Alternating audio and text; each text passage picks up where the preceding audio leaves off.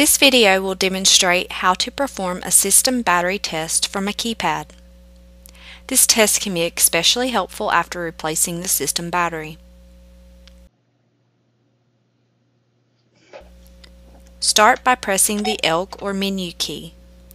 Then press 8 to go to System Settings. Press the right arrow key to enter this menu. You will be prompted to enter a valid code.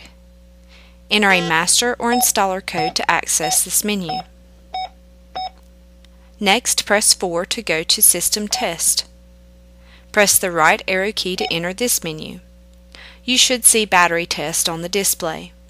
Press the right arrow key to start the battery test. During the test, the keypad will display the voltage reading of the battery as well as the system current draw. The test takes about 30 seconds to complete.